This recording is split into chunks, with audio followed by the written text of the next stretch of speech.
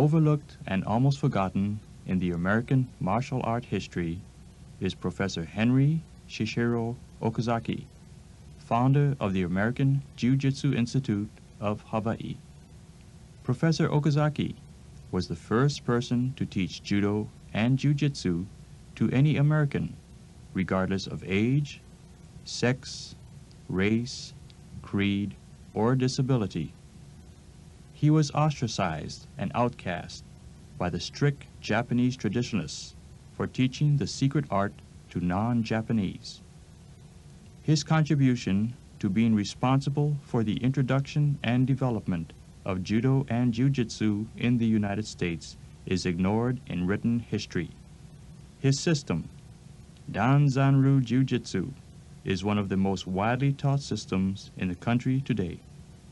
Okazaki named his school Danzanryu in gratitude to Master Wo Chung, a Chinese kung fu stylist who also broke tradition by teaching him the Chinese arts.